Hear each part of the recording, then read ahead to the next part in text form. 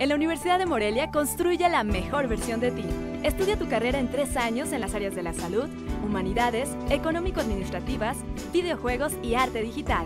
udemorelia.edu.mx, teléfono 317-7771. Los destructores de las escuelas de la Nueva Jerusalén construirán una plaza pública para reparar los daños cometidos hace un año en esa comunidad religiosa que se ubica en el municipio de Turicato, Michoacán, informó el gobernador del estado Jesús Reina García.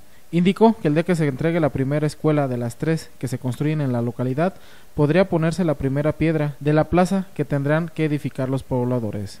Y esperamos que esa misma ocasión podamos poner la primera piedra de una plaza pública y esta plaza pública la van a construir quienes destruyeron las aulas y la van a construir para de esa manera indemnizar al Estado por la destrucción de las aulas y de esa manera hacer la reparación del daño.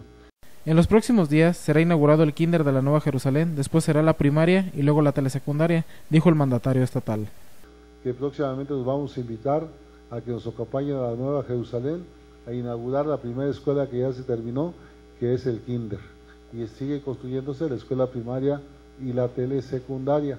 Manifestó que no existe ya el problema que prevalecía entre los laicos y los religiosos de la ermita, viven en completa calma. Mientras tanto, Cruz Cárdenas, ex encargado del orden, acusado de ser el actor intelectual, sigue preso en el penal de Tacámbaro y su proceso jurídico continuará. Con información de Miguel Ángel Sánchez, informa Cuasar TV.